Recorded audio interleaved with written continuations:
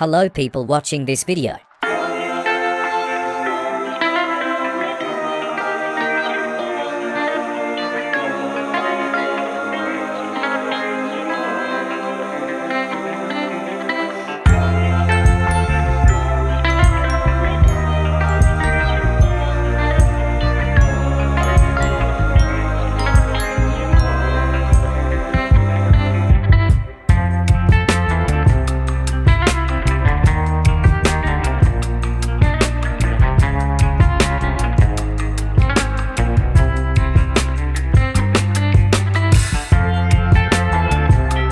Here is the shake. Hello people watching this video. So for this tutorial, I will be showing you how to group your keyframes. So open the Moon Animator plugin and let's get started. First make a animation of any kind so you can group the keyframes for it. After select all the keyframes you want to group, and you must have at least two frames to group. So after that click the keyframe tab on the top of Moon Animator. Then click the group selection button right here. And now you have grouped the keyframes you selected. So now if you want to ungroup the keyframes then here is how. First select the keyframes you grouped and click the keyframe tab. Then click the ungroup button. And now you have ungrouped the keyframes. Hello people watching this video. For this video I will be showing you how to copy and paste your Roblox animations in Moon Animator. So open up Moon Animator and follow along. So first thing you need to do is add a rig. So press this plus button right here. After you do that select the rig you are going to animate. Then press the OK button here. So now it's time to anim so let me do that really quick. After you are done animating press the file button here. After you are going to press the export rig button to export the animations. Now you are going to your Explorer tab in Roblox Studio. Then open the rig you were animating with. Now there will be something in the rig called Anim Saves. Right click the Anim Save and you will click the Save to Roblox button right here. Now we are going to be saving our animation. So name the animation whatever, and if you want you can add a description too. So now we can submit the animation into Roblox Studio. Now that you saved your animation to Roblox Open Moon Animator again. So make sure you have a clean slate and add a rig. Now click File here, then click the Import button here.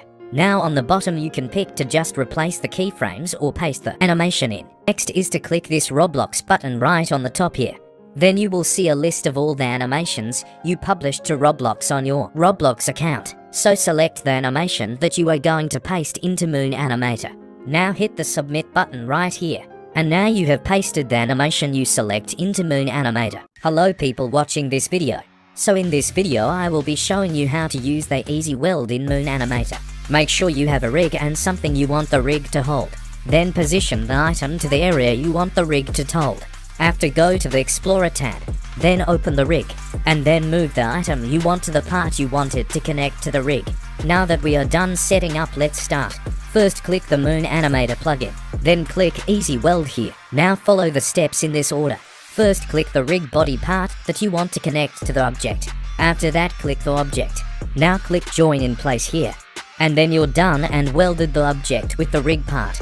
So now when you open Moon Animator, the rig part will now be put with the object. So you want to know how to use the character inserter for Moon Animator. Then you're in the right place let's get started by opening up the Moon Animator plugin. So let me explain what this is right here. So this is how you import a custom a player into Roblox Studio. You can put the player's ID or username. If you don't know how to put a player's ID just go to the player's account. Then go up here to the URL. Then just copy the number of the URL here and just paste it in here and we are done. Now we got the player's avatar in Roblox Studio and we can even animate it. Now that you understand the account section, let's go to the presets tab here next and see how to use that. So as we can see here Moon Animator gives us free rigs to use for animating. We got our 6 rigs here and then we have our 15 rigs here. And if you want to import the rig into Roblox Studio just click the rig you want. And just like that we have a normal rig in Roblox Studio. So now for the last part make sure you have a rig in Studio imported. Now click the Faces tab here. And as we can see here we got a lot of 3D animated faces. And let's say you want to add one of the faces to the rig. Then click the rig you have imported and just pick a face. And now we have added the face onto the rig. I am betting you might need help on making a first person animation, like the one on screen. So let's get started follow along and open Moon Animator. Also make sure you get the first person rig model the link will be in the description. First make sure to add a camera. Then next click the three dots right here. And now you are going to click the button saying attach a path right here. Then click OK. Now click the attached part here. And press the plus button on your keyboard to add a keyframe. Then select the keyframe and press 7 on your keyboard. Now after we have this open, we are going to go to the Explore tab in Studio. Then open the rig. Now you are going to select the head in the rig. Then go back to Moon Animator. And now that you have selected the head, in the rig click set here. And you now can click OK right here. And now your camera is set to the rig's head. So let me animate an example with the first person camera now.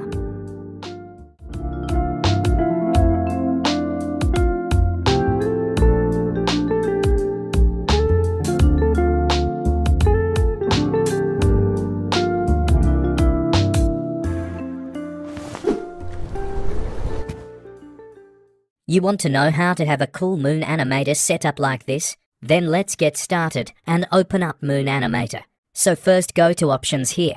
Then we have two options here, named theme and edit theme. So if we click theme here, then we have a few options. We have Lunar which is blue with moons in the background. Then dark which gives a grey and orange background. And default which is the normal Moon Animator colours. I made a model for you that animate cool face animations like this one you see on screen. Make sure to get the model I will be using for this tutorial. The model's link will be in the description. But now let me go through the model really quick and how to use it. So you will see this folder holding all of the stuff to use the model. We have all the eyes and mouth decals and even custom rigs. There is also this script on how to use the model if you have no idea. And if you were wondering what this delete me thing is, it's for the background. Now let me show you how to animate with this model. First get a rig that you want to use, then add it to Moon Animator. Now open the rig you selected. Open the head in the rig. Now you can see there are eyes and a mouth. So if you want to animate the eyes, for example, and this goes for the mouth too, then first go back to Moon Animator and click the plus button here. Select the decal inside the eyes or mouth and then select texture here and click OK. And now you can change the texture of the eyes or mouth now here is how you animate the mouth and eyes. First double click the eyes or mouth you want on the rig. Then copy the decals texture. Go back to Moon Animator and move the timeline. Now select the eyes or mouth and press the plus button on your keyboard. Then select the keyframe and press 7 on your keyboard. Then press the value button right down here. And now paste in the eyes or mouth decals ID you want to add. And you have now added the decal ready to be animated. So let me animate an example on what you can do with this.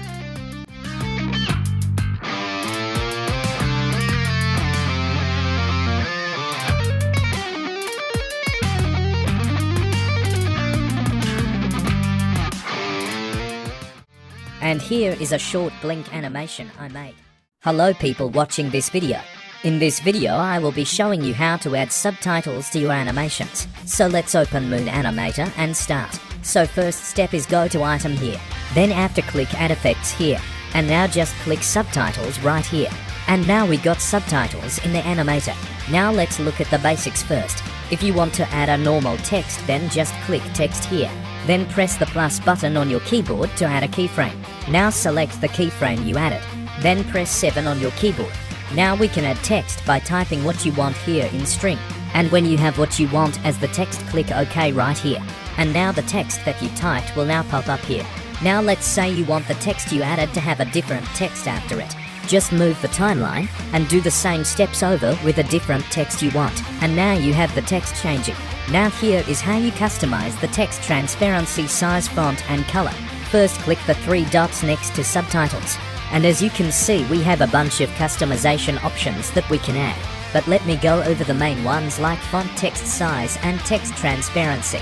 So select the edits you want to add to your text and then click OK. Let's go over fonts real quick. Add a keyframe to fonts then select the keyframe and press 7. Now the main thing you want to focus on is this right here named Enum. And this has all types of text fonts. I will show off real quick. But you can just look through the font types and pick one and click OK. Next is text size like the others add a keyframe and then press 7 on the keyframe. Now we can change the size of the text by just putting in the text size number here. The higher the number, the bigger the text will be, and a lower number is small text. And we can add keyframe in between, and it will go from one size to another. And we can even add easing styles to it too. So let me pick something like bounce and out. And as you can see the style is now on the text size. Let's check out the transparency now. Make a keyframe for transparency and press 7 on it like others. And how this one works is the higher the number the more transparent it gets. And like size, you can also add easing styles. But there is a lot more still you could add to your subtitles I can't go over. But I would just play around with all of the edits you could add to your subtitle. This is how you pose a rig. First open Moon Animator the plugins link will be in the description. Also make sure you get a rig that you want to pose. After you open Moon Animator click the rig you picked to pose. Then click new rig animation here. So now let's pose the rig real quick. So here is the pose I made. Now we are going into the Explorer tab. Next copy and paste the rig and make sure Moon Animator is open.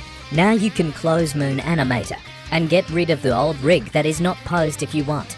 And now we have posed the rig. You want to know how to add Roblox emotes to rigs? Then let's get started. First click File here, then after click Import. Now you are going to click Avatar Shop here. Then you will see this UI where you can add a emote ID. So let me show you how to use this. Open up Roblox and go to the Avatar Shop. Then you are going to want to go to the animations and then emotes. Now you can pick any emote you want to add to the rig. So I will just pick idle here. Now that you have the emote open, go to the top left here at the URL. And now you will copy the number on the top that you have. Then after you have the numbers copied, go back to Roblox Studio. And now we can paste the numbers we copied into Emote ID here. Last we press the OK button. And now we have added the emote to the rig. In this video I will be showing you how to make the time of day change. So let's get started. First press the plus button here. Then you are going to go to the Explorer and click Lighting. Then after you click lighting next, you are going to go back to Moon Animator. And now we are going to want to make sure that this clock time is selected. And now you can press OK here. So now we have the clock time in Moon Animator. Let me show you how to use it. First you are going to click lighting in Explorer. Then you are going to go to the Properties tab. And now, you will see in the lighting's properties, there is something called clock time. And you can see that when you move the scroll it changes the time of day. So now we can go back to Moon Animator and just press plus on clock time. And now to make the time change from one to another move the timeline. Now go back to the properties of lighting and to clock time. And you can just do the same steps again. So let me just show you the end result.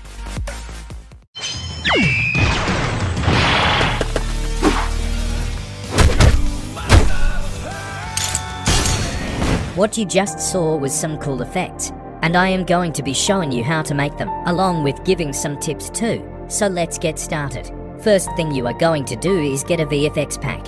So let me help you out, and here are some I would suggest. The model's links will be in the description. Then, when you get the pack of your choice, I like to put aside the effects that I will use, and then remove the pack after, just to add less lag. So now that we got all the effects we will be using, time to open up Moon Animator 2. Now I'm going to start animating a quick punch animation, so be right back.